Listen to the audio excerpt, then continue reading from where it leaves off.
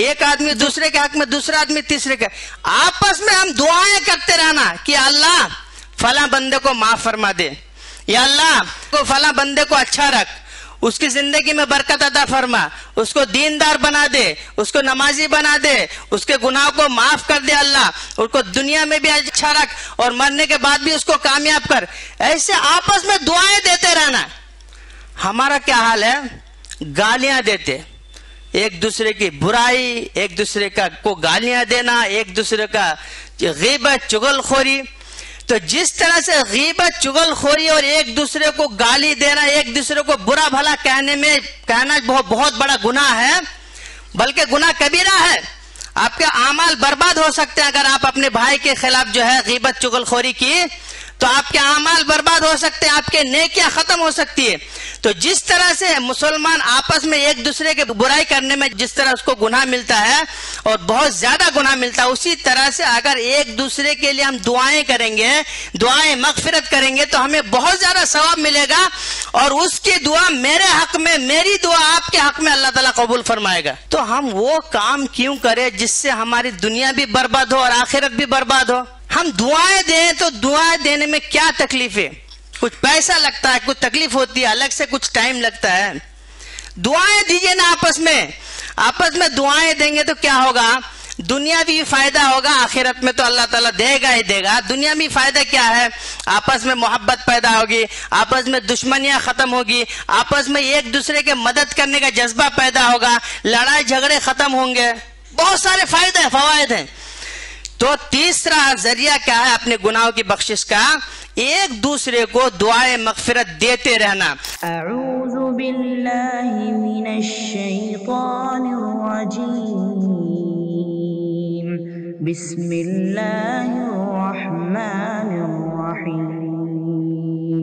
तमाम किस्म की तारीफ़ व तोसीफ़ किबरियाई और बड़ाई सिर्फ़ और सिर्फ़ अल्लाह रब्बुल इज़्ज़त के लिए लायक और ज़ेबा है। लाखों करोड़ों दरुद सलाम नाजिल हो हमारे और आपके आखिरी नबी अहमद मुशतबा महमद मुस्तफ़ा सल्लल्लाहु अलैहि वसल्लम पर। मुहतरम सामीन आज के इस खुतबे में मेरा टॉपिक है गुनाहों की बख्शिश के ज़राए। अल्लाह ताला ने इंसानों को अशरफुल मखलूक़ात बनाया। जितने भी मखलूक़ात हैं दुनिया में चाहे वह चरिंद, परिंद, जानवर, समुंदर, हजर, शजर, पत्थर, आसमान, ज़मीन, जितने भी अल्लाह के मखलूक़ात हैं, सारे मखलूक़ात में अल्लाह ताला ने इंसानों को सबसे अफजल बनाया, सबसे आला बनाया, सबसे अशरफ बनाया। यहाँ तक के फरिश्तों के ऊपर भी अल्लाह ताला ने फरिश्तों से भी ज़्यादा अफजल बनाया। फरिश्ते में जिब्राइल सलाम आते हैं मिकाइल सलाम आते हैं इसराफिल सलाम आते। हैं फरिश्तों के कितने मकाम मरतबा अर्श जो है, संभाले हुए फरिश्ते हैं, समुंदर के फरिश्ते हैं, मौत के फरिश्ते हैं, पहाड़ों के फरिश्ते हैं। फरिश्तों से भी ज़्यादा अल्लाह ताला ने इंसान को अफजल बनाया सुबहान अल्लाह। लेकिन इसके बावजूद उसके अंदर सबसे बड़ी कमज़ोरी और सबसे बड़ी कमी क्या है? वो गलतियाँ और गुनाह करते रहता है। हमेशा उनसे गलती का सुदूर होते रहता है। और ये कोई अजीब बात भी नहीं है। इसलिए कि नबी करीम सल्लल्लाहु अलैहि वसल्लम ने फरमाया, कुल्लु बनी आदमा खत्ताउन कि हर इंसान जो है खताकार है। हर इंसान गुनाह करने वाला। अल्लाह ने अफजल बनाया, अशरफ बनाया, इसके बावजूद क्या है? इनसे गलतियाँ होती रहती है। ये गलती का एक पुतला है। अल्लाह ताला के, इंसान के अंदर ये सिफत डाल दिए कि वो गलती करे। लेकिन मसला यहाँ खड़ा होता है कि गलती करने के बाद, गुनाह करने के बाद हमें क्या करना चाहिए? तो बहुत सारे हमारे भाई जो है बड़े बड़े गुनाह कर देते हैं। बहुत ज़्यादा जुल्म कर बैठते हैं। बहुत ज़्यादा कत्लो, गारत, गिरी और फसाद मचा के रख देते हैं। इसके बाद क्या होता है? वो अल्लाह की रहमत से मायूस हो जाता है और सोचता है, मैं इतना बड़ा जालिम हूँ, मैं इतना ज़्यादा गुनाह कर चुका हूँ, अब मुझे तो अल्लाह ताला माफ़ नहीं करेगा। अल्लाह की रहमत से मायूस होकर वो क्या करता है? और ज़्यादा निडर हो जाता है और पहले से ज़्यादा और गुनाह करने लगता है। तो मेरे भाइयों, आदमी कितना भी ज़्यादा गुनाह कर ले, उसको अल्लाह की रहमत से मायूस नहीं होना चाहिए। इसलिए कि जो अल्लाह की रहमत से मायूस होता है, वो कुफर करता है। अल्लाह ताला खुद कुरान करीम के अंदर इशाद फरमाता है अपने गुनहगार बंदों से मुखातब होकर, गुनहगार बंदों से मुखातब होकर फरमाता है, या बनी आदम, या या बनी आदम, या इबादियल्लदीन असरफु अला अनफुसिहिम ला तकनतु मिन रहमतिल्लाह, इन्नल्लाह यगफिरुज़ुनूब जमीआ, इन्नहु हुवल गफूरुर रहीम।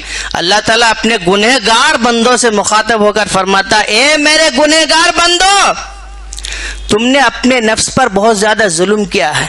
तुमने बहुत ज़्यादा गुनाह किया, लेकिन तुम अल्लाह की रहमत से मायूस मत हो। ला तकनतु में रहमतिल्लाह। इन्नल्लाह जमिया अल्लाह ताला तमाम गुनाहों को माफ़ करने वाला है। हुवल गफूर रहीम। और बेशक अल्लाह ताला बहुत ज़्यादा बख्शने वाला है और बहुत ज़्यादा रहम करने वाला है। एक शख्स था उसने 99 लोगों का कत्ल किया था। निन्यानवे लोगों का कातिल था। बेगुनाह लोगों को कत्ल करता था। निन्यानवे लोगों को कत्ल करने के बाद उसके दिल में जो अल्लाह का खौफ उजागर हुआ और दिल में डर पैदा होने लगा कि अल्लाह, मैंने तो बहुत ज़्यादा जुल्म किया, बहुत ज़्यादा कत्ल कर दिया। क्या मेरे लिए कोई माफ़ी की सूरत हो सकती है? बख्शिश का कोई रास्ता निकल सकता है? तो इस कोशिश में वो निकला और एक आलिम के साहब के पास पहुँचा। उस आलिम साहब से अपना पूरा माजरा बयान किया कि मैंने इतना इतना कत्ल किया। 99 हो गया है। क्या मेरे लिए कुछ बख्शिश की गुंजाइश है? अल्लाह मुझे माफ़ करेगा। तो उस आलिम ने कहा, अल्लाह, तुम इतना ज़्यादा लोगों का कत्ल किए हो, ना बेगुना लोगों का कत्ल किया हो। क्या अल्लाह तुमको माफ़ करेगा? हरगिज नहीं। तो उस आदमी ने उस आलिम को भी कत्ल कर दिया। और कहा, जब अल्लाह माफ़ी नहीं करेगा तो और कत्ल करूँ? तो सो सो पूरा कर लिया। लेकिन फिर भी उसका दिल नहीं मान रहा। उसका दिल जो है, अल्लाह का डर और खौफ उसके दिल में आ चुका था। वो लोगों से पूछता रहा, किसी किसी ऐसे शख्स का मुझे एड्रेस बताओ, पता बताओ कि मैं उनके पास जाकर मैं उनसे रहनुमाई हासिल कर सकूँ लोगों ने कहा कि, फला जगह जाइए, एक आलिम साहब है, वो आपकी रहनुमाई करेंगे। तो आदमी उस आलिम साहब के पास पहुँचता है और कहता है, अपना माजरा बयान करता है। तो वो आलिम बोलता है कि, तुम ला तकनतु में रहमत अल्लाह के रहमत से तुम मायूस मत हो, तुम तोबा करो, तोबा इस्तफार करो। और तुम अपनी बस्ती छोड़कर तुम फला बस्ती चले जाओ, और एक बस्ती है, वहाँ पर बहुत नेक लोग रहते हैं। उनके साथ तुम अल्लाह की इबादत करना और तोबा इस्तफार करते रहना, अल्लाह अल्लाह माफ़ कर देगा। उसके बाद वो बंदा जो है सच्ची सच्चे दिल से तोबा करते हुए उस बस्ती को छोड़ देता है और नेक लोगों की बस्ती की तरफ़ रवाना हो जाता है। बीच रास्ते में जो है उसकी मौत का वक्त आ जाता है। अब दो फरिश्ते आके लड़ना शुरू कर देते एक रहमत के फरिश्ते और अजाब का फरिश्ता। रहमत का फरिश्ता बोलता है कि इस बंदे ने जो है सच्चे दिल से तोबा करके अल्लाह की इबादत के नियत से जो अपनी बस्ती छोड़कर दूसरे जो है नेक लोगों के बस्ती की तरफ़ हिजरत किया। इसलिए मैं इसकी रूह को कब्ज करूँगा। लेकिन आजाब का फरिश्ता बोलता है, नहीं नहीं नहीं, इसने तो अभी तक कुछ भी इबादत नहीं किया। ये खाली कत्लो गारत गिरी कर रहा था। इसको मैं जो है जहन्नम में लेके जाऊँगा। तो इस तरह से लड़ाई हो रही थी तो अल्लाह ताला जो तीसरे फरिश्तों को भेजा और कहा कि इन दोनों के दरमियान फैसला करो और ये देखो कि कौन से बस्ती से रास्ता करीब है।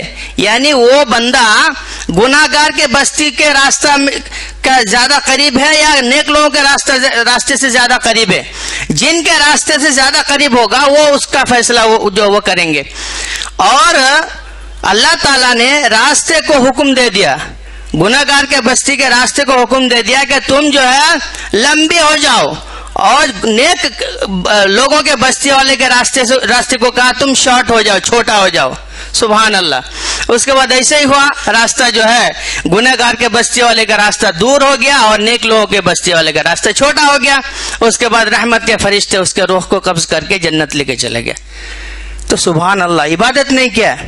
लेकिन अल्लाह की रहमत देखिए वो सच्चे नियत से तोबा तोबा करके जो है वो इबादत के खातिर तोबा करने के खातिर जो है नेक लोगों के बस्ती जाने की वजह से अल्लाह की रहमत जोश में आई और अल्लाह ताला ने अपने रहमत से उनको जो है माफ़ कर दिया और उसको जन्नत में भेज दिया। इसी तरह से और एक शख्स था बहुत गुनेगार था, था बहुत ज़्यादा गुनाह करता था।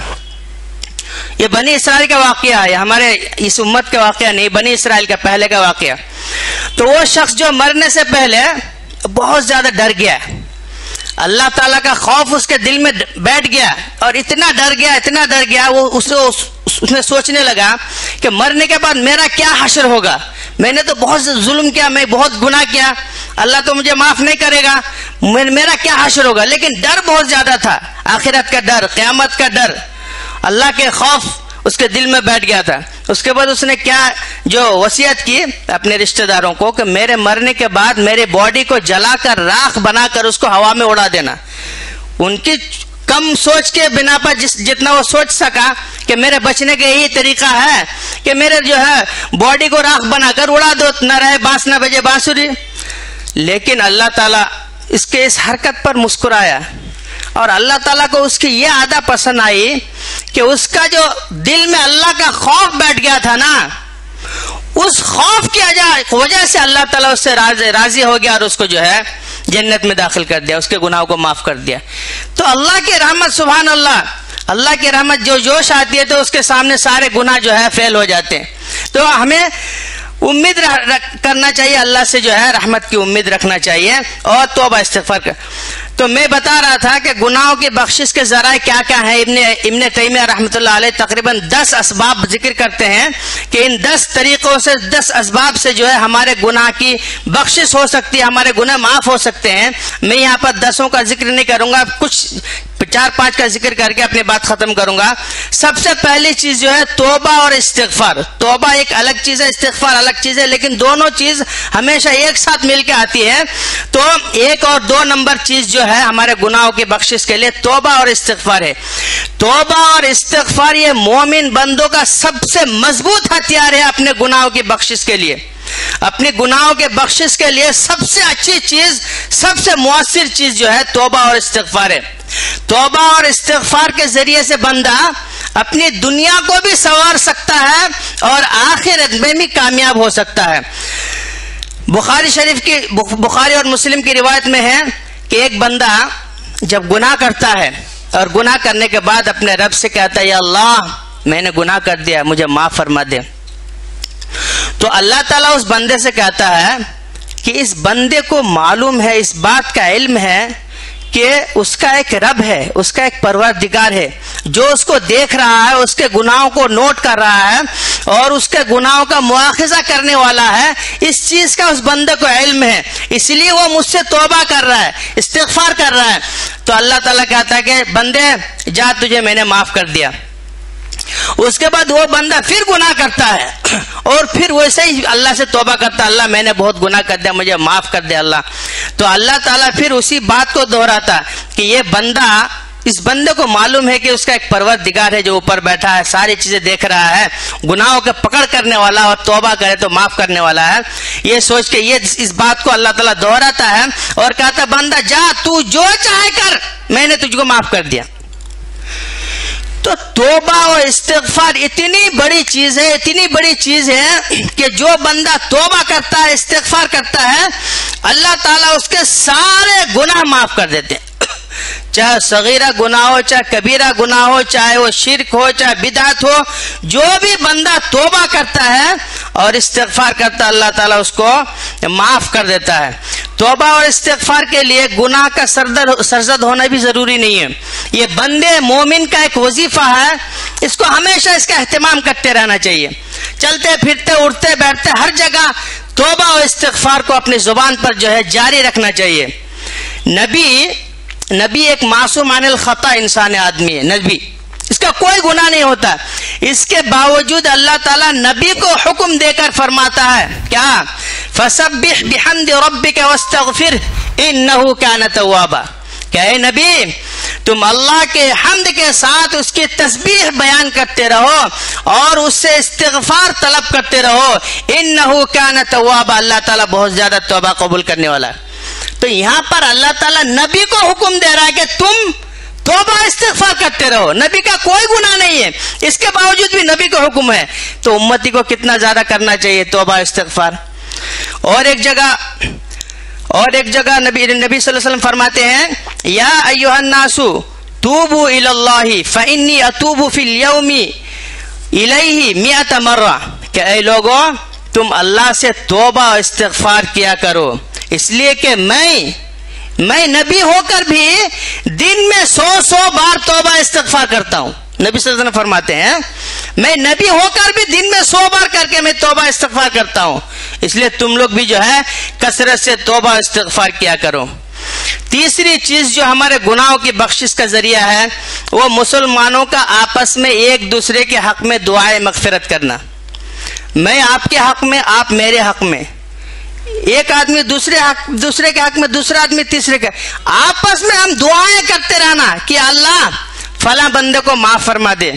या अल्लाह, फले बंदे को, फला बंदे को अच्छा रख।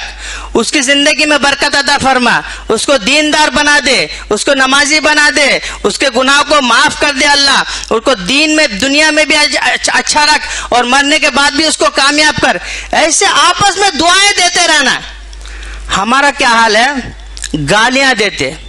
एक दूसरे की बुराई, एक दूसरे का को गालियाँ देना, एक दूसरे का गीबत चुगलखोरी। तो जिस तरह से गीबत चुगलखोरी और एक दूसरे को गाली देना, एक दूसरे को बुरा भला कहने में कहना बहुत बहुत बड़ा गुनाह है, बल्कि गुनाह कबीरा है। आपके अमाल बर्बाद हो सकते हैं अगर आप अपने भाई के खिलाफ जो है गीबत चुगलखोरी की तो आपके अमाल बर्बाद हो सकते हैं, आपके नेकियाँ खत्म हो सकती है। तो जिस तरह से मुसलमान आपस में एक दूसरे के बुराई बुराई करने में जिस जिस तरह उसको गुनाह मिलता है और बहुत ज़्यादा गुनाह मिलता है, उसी तरह से अगर एक दूसरे के लिए हम दुआएँ करेंगे, दुआएँ मगफिरत करेंगे तो हमें बहुत ज़्यादा सवाब मिलेगा और उसकी दुआ मेरे हक में, मेरी दुआ आपके हक में अल्लाह तला कबूल फरमाएगा। तो हम वो काम क्यों करें जिससे हमारी दुनिया भी बर्बाद हो और आखिरत भी बर्बाद हो? हम दुआएँ दें तो दुआएँ देने में क्या तकलीफ़? है कुछ पैसा लगता है, कुछ तकलीफ़ होती है, अलग से कुछ टाइम लगता है। दुआएँ दीजिए ना आपस में। आपस में दुआएँ देंगे तो क्या होगा? दुनिया भी फ़ायदा होगा, आखिरत में तो अल्लाह ताला देगा ही देगा। दुनिया में फ़ायदा क्या है? आपस में मोहब्बत पैदा होगी, आपस में दुश्मनियाँ खत्म होगी, आपस में एक दूसरे के मदद करने का जज्बा पैदा होगा, लड़ाई झगड़े खत्म होंगे। बहुत सारे फ़ायदे, फवायद हैं। तो तीसरा ज़रिया क्या है अपने गुनाहों की बख्शिश का? एक दूसरे को दुआए मगफिरत देते रहना। हज़रत नू सलाम की ये दुआ मशहूर है कुरान की रब्बिग फिरली वली वाली दैया वली मन दखल बैत मुमिन वलिल मुमिनीन वल मुमिनात। हज़रत नू सलाम दुआ करते हैं मगफिरत के लिए। कहते हैं कि अल्लाह मुझे माफ़ फरमा दे। मेरी मगफिरत फरमा दे और मेरे वालिदैन की मगफिरत फरमा दे। और जो बंदा इस्लाम की हालत में मेरे घर पर आया, उसको भी अल्लाह बख्श दे, उसको भी माफ़ फरमा दे। और तमाम मोमिन मर्द और मोमिन औरतों को भी अल्लाह ताला बख्श दे। तो एक नबी जो है अपने लिए और पूरी उम्मती के लिए दुआ कर रहे हैं। इसी तरह से हमें भी अपने लिए भी, अपने भाइयों के लिए भी, मुसलमानों के लिए भी सारे सारे भाइयों के लिए दुआ करते रहना चाहिए। और एक जगह हज़रत आयशा रज़ी अल्लाह से मरवी के नबी करीम अलैहि फरमाते हैं मामिन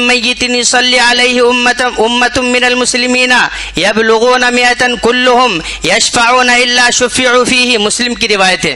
कहते हैं कि अगर किसी मैयत के जनाजे में सौ लोग जमा हो गए और सौ लोग मिलकर उसकी मगफिरत के लिए दुआ किया तो अल्लाह ताला उसको बख्श देता है। सुबहान अल्लाह तो हमें एक दूसरे के लिए दुआए मगफिरत करते रहना चाहिए। बुराई और गीबत और चुगलखोरी को छोड़कर अच्छी चीज़ें अपनाइए। आपकी ज़िंदगी भी अच्छी होगी, ये दुनिया में भी अच्छे रहेंगे और मरने के बाद भी अल्लाह हमारे गुनाहों को माफ़ कर देंगे। चौथी चीज़ जो है, सवाब जारिया। वो आमाल जिनका सवाब, जिनका नेकी जो है, मरने के बाद भी मिलता रहता है। आप मर गए, आपको उसका सवाब मिलते रहेगा। मुस्लिम की रिवायत है, इदा मातबनु आदम इन कता इल्ला मिन सलास, सदाकतिन जारिया, औ इल्मिन युंतफा बी, औ औ वलदिन सालिहिन के फरमाया कि जब आदमी मर जाता है तो उसको अमल का सिलसिला खत्म हो जाता है। लेकिन तीन अमल ऐसा है तीन नेकी ऐसी है कि मरने के बाद भी उसका सवाब कबर में और आखिरत में पहुँचते रहता, ट्रांसफ़र होते रहता सुबह अल्लाह पहली चीज़ क्या है? सदका जारिया। ऐसे डोनेशन, चैरिटी का काम, ऐसे सदका, आपने कोई मस्जिद बनवा दिया, कोई मदरसा बनवा दिया गरीब की मदद कर दी, सड़क बनवा दिया, कहीं पर पानी का इंतज़ाम कर दिया, किसी गरीब को घर बना कर दे दिया। अभी हमारा मरकज बन रहा है, माशाल्लाह। यहाँ पर आप जो है, लाख, दो लाख, पाँच लाख डोनेशन कीजिए, कोई ईंट दे दीजिए सीमेंट दे दीजिए, मरकज जब तक कायम रहेगा, आपको सवाब मिलता रहेगा मिलता रहेगा। आप 10 साल 20 साल बाद मर गए, मरकज रहेगा, सैकड़ों साल तक इंशाल्लाह रहेगा, कयामत तक रहेगा। मरकज में जो भी एक्टिविटी होती रहेगी, जो भी नेकी सवाब का काम होते रहेगा, उसका सवाब आपको पहुँचता रहेगा। सुबह अल्लाह तो सदका जारिया कीजिए। आप अपनी हैसियत के मुताबिक कीजिए। आप जितना हो सकता कीजिए कि आप इस अंदाज से कीजिए कि आपके मरने के बाद उसका सवाब मिलता रहे। दूसरी चीज़, ऐसा इल्म छोड़कर जाना कि जिससे जो है, जिसका सवाब आपको मिले। जैसे मिसाल के तौर पर आप अपने बच्चे को हाफिज बना दिया, आलिम बना दिए, या किसी गरीब बच्चे को आलिम बना दिया हाफिज बना दिए, या कोई किताबें छपवा दिए, या कोई किताब लिख कर चले गए तो उस इल्म से जब तक लोग फ़ायदा उठाते रहेंगे, आपको सवाब मिलता रहेगा मिलता रहेगा, मिलता है सुबहान अल्लाह तीसरी चीज़ क्या है? वलदुन सालेह, नेक औलाद। सालेह और नेक औलाद। आपके मरने के बाद आपके जो नेक औलाद होंगे मैं आप लोगों से सवाल करता हूँ, बहुत सारे भाई हमारे हैं। अपने बच्चों के पीछे जो है, खून, पसीना एक करके पूरी ज़िंदगी सर्फ कर देते हैं। और अपने बच्चे को क्या बनाते हैं? डॉक्टर बनाते हैं, इंजीनियर बनाते हैं, साइंटिस्ट बनाते हैं। लेकिन उसको नमाज़ के बारे में नहीं बताते, उनको कुरान के बारे में नहीं बताते, उनको हदीस के बारे में नहीं बताते, उनको अल्लाह का तारुफ नहीं कराते, नबी का तारुफ नहीं कराते, शरियत क्या चीज़ नहीं बताते। यानी दीनी एतबार से वो ज़ीरो है। लेकिन दुनियावी एतबार से माशाल्लाह डॉक्टर, इंजीनियर, साइंटिस्ट महीने में दस दस लाख, बीस बीस लाख कमाने वाले। वो आपको क्या देंगे? सवाल मैं कर रहा हूँ, क्या देंगे? मेरी ज़िंदगी में तो बहुत कम देखा हूँ। इल्ला माशाल्लाह, हज़ारों में एक दो जो दीनदारी नहीं, फिर भी माँ बाप को देखते हैं। लेकिन 99 परसेंट बच्चे, औलाद ऐसे हैं, अगर बेदीन है तो माँ बाप को नहीं देखते। चाहे वो करोड़पति बन जाए, लेकिन माँ बाप की खिदमत नहीं करेंगे। दुनिया में भी आपको कोई फ़ायदा पहुंचाता नहीं है वो। मरने के बाद तो ज़ीरो कुछ भी नहीं मिलेगा। तो आपकी ज़िंदगी जो इतनी मेहनत कर रहे हैं, क्या मिला आपको? आप खून पसीना एक करके कमा के जो अपने बच्चे को इतनी बड़ी बड़ी डिग्रियाँ बना कर दिए, आपको क्या मिला? आपको दुनिया में भी इज़्ज़त नहीं मिली। दुनिया में खिदमत नहीं मिली बच्चों की। वो बच्चे क्या करते हैं? माँ बाप को ओल्ड एज हाउस में जो है छोड़ देते हैं या कोई नौकर वोकर रख के जो है किसी एक कोने में रूम में छोड़ देते हैं। कभी देखने के लिए भी नहीं आते महीने महीने गुजर जाता है। तो आप उनके पीछे इतना मेहनत किए, पूरी ज़िंदगी की कमाई लगाते, आपको क्या मिला?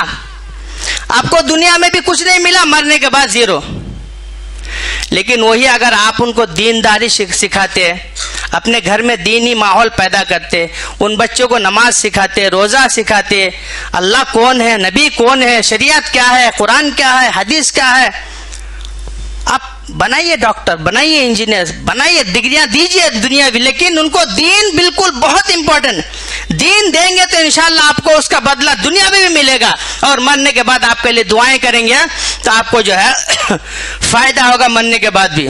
और एक आखिरी हदीस, बहुत सारी बातें हैं। आखिरी हदीस बयान कर मैं अपनी बात खत्म करूँगा।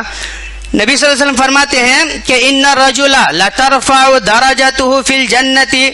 फ़यकुल अन्नी ला अन्नी ली हादा फ़युकालु बिस्तिगफारी वलदिक लका जन्नत में जो है लोगों के दराजात बुलंद होंगे उनको ऊँचा मकाम अता किया जाएगा तो वो सवाल करेगा या अल्लाह मैंने तो दुनिया में इतनी ज़्यादा नेकियाँ नहीं की थी तो फिर मुझे ये मकाम और मर्तबा किस तरह से कैसे हासिल हो रहा है तो अल्लाह ताला फरमाएगा तुमने जो नेक औलाद छोड़कर आए थे ना दुनिया में और तुम्हारी औलाद तुम्हारे लिए मगफिरत की दुआएँ कर रहे हैं।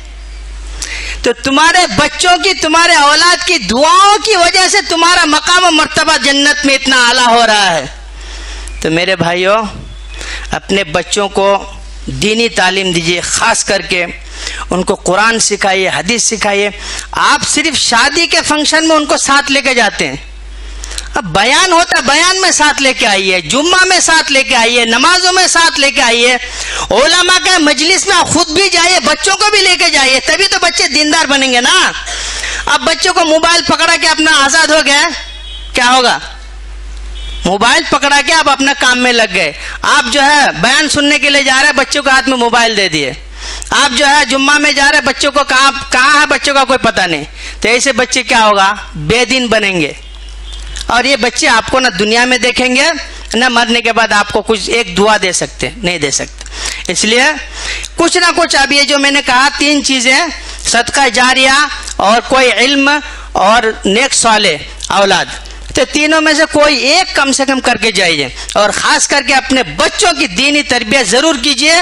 अगर नहीं करेंगे तो आपका नुकसान इस दुनिया में भी है और आखिरत में भी अल्लाह ताला सवाल करेंगे अपने बच्चों के ताल्लुक से कि तुमने अपने बच्चों की तालीम और तरबियत का इंतज़ाम कहाँ तक किया था? लिहाजा हमें सवाल से भी बचना क़यामत के रोज। और हमें फ़ायदा भी उठाना इसलिए हम अपने बच्चों को दीनी तालीम ज़रूर दें, ज़रूर। चाहे उसके लिए आपको कितना पैसा खर्चा करना कीजिए, लेकिन आप अपने बच्चे को ज़रूर दीनदार बनाइए। अल्लाह ताला से दुआ के अल्लाह ताला हम तमाम भाइयों को, हम तमाम मुसलमानों को नेक अमाल की तोफ़ी अदा फरमाए और अपने गुनाहों की बख्शिश के लिए मैंने जो भी दो चार चीज़ें बताई उस पर और जो जो चीज़ें जो है, है नेक अमाल जो भी आप नेक अमाल करेंगे वो भी आपके गुनाहों के बख्शिश का ज़रिया बनेगा। तो अल्लाह ताला हम तमाम भाइयों को मुसलमानों को ज़्यादा से ज़्यादा नेक अमाल करने की तोफ़ी अदा फरमाए और अपने गुनाहों की बख्शिश के लिए तोबा इस्तफ़ार करते रहने की अल्लाह ताला तोफ़ी अदा फरमाए। आखिर दावाना